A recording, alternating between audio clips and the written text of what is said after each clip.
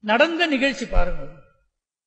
பேப்பர்ல வந்தது. அமெரிக்காவுல சிகாகோல டாக்டர் மார்கன் பெரிய டாக்டரா. பெரிய விஞ்ஞானியும் கூட. அவர் தான் கேன்சருக்கு மருந்து கண்டுபிடிச்சிருக்கார். அவர் மருந்து கண்டுபிடிச்சு அதை எல்லா மேகசின்லயும் வந்து எல்லா யூனிவர்சிட்டியும் அதை அங்கீகரிச்சு அப்போ அவருக்கு ஒரு அவார்டு பாராட்டு கொடுத்து அவரை கௌரவிக்கிற அமெரிக்கா கவர்மெண்ட்ல அதுக்கு வேற அங்கேருந்து ஏதோ ரொம்ப தூரத்துல இருக்கிறதான ஏதோ ஒரு பெரிய யூனிவர்சிட்டியில அவருக்கு பாராட்டு விழா நடக்கிறது.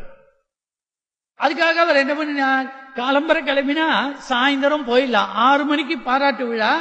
காலம்பரை அவர் ஏ- ஏழரை மணிக்கெல்லாம் ஃப்ளைட்டு பிடிச்சி கிளம்பினாக்க நாலரை மணி அஞ்சு மணிக்கெல்லாம் போயிடலாம் அப்படின்னு நினைச்சிட்டு கிளம்பிட்டார். கிளம்பி வந்துட்டார் சிக்காகோலேருந்து கிளம்பினார். மழை இடி பயங்கரமான மழை. அமெரிக்கால நீங்கள் பேப்பரில் பார்க்குறோம் எப்படி வருதுன்னு. மழையெல்லாம் பற்றி. அத்தனை புயல் காற்று உருவாயிருக்கு சூறாவளி உருவாச்சு. பிளேனை இறக்கிவிட்டான். பக்கத்தில் இருந்த ஏர்போர்ட்ல இறக்கியாச்சு. இறங்கினதுக்கு இறங்கினது ஒரு மணி நேரம் ஆச்சு ரெண்டு மணி நேரம் ஆச்சு வெயிட் பண்ணிட்டு இருக்கான். ஏர்போர்ட்ல. அப்புறம் இவர் ஏர்போர்ட் மேனேஜர் போய் கேட்டார். அவர் சொன்னார் சார் இன்னும் வா- வானிலை சரியானாதான் நாங்க பிளேனை இது பண்ணுவோம். அது எப்ப சரியாகும் தெரியல. பயங்கரமான காத்து பயங்கரமான மழையா இருக்கு. என்ன பண்றதுன்னு தெரியல. அப்புறம் தான் அந்த ஊருக்கு போகணும். தான் யாருன்னு சொல்லிக்கல. சொன்னாலும் அவனுக்கு தெரியுமோ தெரியாதோ. அந்த ஊருக்கு போகணும் அவசரமா போகணும். இங்க இருந்து காரு ஒரு டாக்ஸி எடுத்துன்னு போனா எத்தனை நேரம் ஆகும்னா? ஐயோ அவ்வளவு தூரம் போனேன் சார் அமெரிக்கா ரோடு நீங்க ஹண்ட்ரட் அண்ட் டுவெண்ட்டி கிலோமீட்டர்ஸுக்கு குறைச்சு போக முடியாது அந்த ரோட்ல. அப்படி போனாலே நீங்க நாலரை மணி நேரம் ஆகும் சார். மணி வந்து பாருங்க இப்ப பன்னெண்டரை ஒரு மணி ஆக போறது. நீங்க டாக்ஸி வேணா நான் உங்களுக்கு ஏற்பாடு பண்ணி தரட்டுமான்னா. அப்பா ரொம்ப நான் நன்றி உடையவிடா இருப்பேன். ஏற்பாடு பண்ணி கொடுனா ஏற்பாடு பண்ணி கொடுத்துட்டா. ஒன்னே காலுக்கு கிளம்பியிருக்கார் கிளம்பியாச்சு. போனா மழை வலுக்கிறது எங்க போறோம்னு தெரியல ரோடே தெரியல. டிரைவர் சொன்னா சாமி இந்த மண் இந்த மழையில இந்த இப்பவே இருட்டி போக ஆரம்பிச்சிட்டு நான் எப்படிங்க டிரைவ் பண்ணுவேன்னா? போயா போயிடலாம் போங்கன்னா போயிட்டே இருந்தா அவன் எங்கேயோ ரூட்டு விட்டுட்டான். எங்கேயோ திரும்பிட்டான். திரும்பினாங்க பார்த்தார் அவர். மணியை பார்த்தார் மணி அஞ்சரை. அப்பா இனிமே போய் பிரயோஜனம் இல்லை. நம்ம வேகமாகவும் போக முடியல. ஸ்பீடும் இல்லை. அதனால திரும்பிட்டான். திரும்பினதும் எங்கேயான வழக்கு வெளிச்சம் தெரியறதா பாருன்னா. தெரிஞ்சா இங்க ஒரு வீட்டுல தெரியறதுன்னா. சரி நிறுத்து. நிறுத்தினாக்க அந்த காம்பவுண்ட் கேட்டை திறந்து அப்புறம் அந்த சுத்தி காம்பவுண்ட் போட்டிருக்கான். கார்டன் அதை தாண்டின்னு உள்ள போனா கதவு சாத்தியிருந்தது தட்டினா அங்கேருந்து ஒரு முப்பத்தஞ்சு நாற்பது வயசு மதிக்கத்தக்க லேடி வந்தா கதவை திறந்தா அப்படியே நினைஞ்சுட்டு இருக்கா டிரைவரும் நினைச்சுட்டு இருக்கான் டிரைவர் சார் நான் வண்டியெல்லாம் சரி பண்ணிட்டு ஓரமா நிறுத்திட்டு வரேன். நீங்க உள்ள போங்கன்னா இவர் உள்ள போனார். எல்லா பேக் எல்லாம் அங்கே உள்ளிலேயே வச்சுட்டார். உள்ள போனார். ஷூவை அவுத்துட்டு உள்ள போனார். அப்புறம் அந்த அம்மா சொன்னா டவல் தரேன். ரொம்ப நனைஞ்சிருக்கீங்க தொடச்சுக்கோங்க. தொடச்சுட்டார். நீங்க Dress தான் தட்டுமான்னா அம்மா அதெல்லாம் ஒன்றும் வேண்டாம். தானே காஞ்சிடும். அப்படின்னு சொன்னான். அங்க உட்காந்தா கொஞ்சம் சூடா டீ தட்டுமா?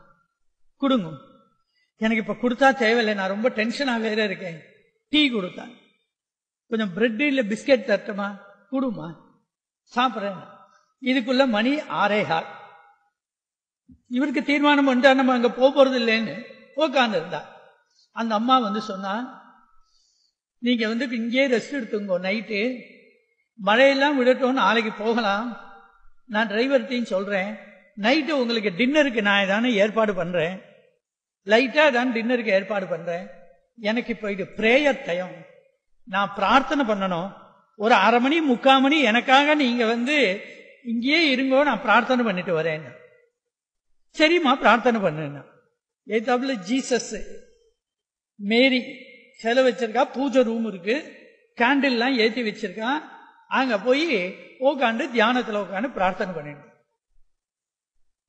இவர் என்ன இவர் வந்து கடவுள் பக்தி உடையவர்னு இல்லை. இவர் எத்தியிஸ்டும் இல்லை. இவர் வந்து தீயிஸ்டும் இல்லை. இவர் அதுக்காக அக்னாஸ்டிக்கும் இல்லை. இவருக்கு ஏதோ இவர் காரியத்தை இவர் பார்த்துட்டு இருக்கார் கண்டுபிடிச்சிருக்கார். இவர் என்ன பண்ணார்? கொஞ்ச நேரம் கழிச்சு இந்த அம்மா என்ன பண்றா? பிரார்த்தனை பண்றாங்கிறாளே என்ன பண்றா? பாப்போம்னா கண்ணை மூடின்னு அந்த அம்மா உட்கார்ந்துருக்கா. அங்க பார்த்தா எதிர்த்தாப்புல ஒரு கட்டில். அந்த கட்டில யாரோ பார்த்தா ஒரு பையன் படுத்துட்டு இருக்கான் அந்த பையனுக்கு பதினாறு பதினெட்டு வயசு இருக்கும் போல் இருக்கு.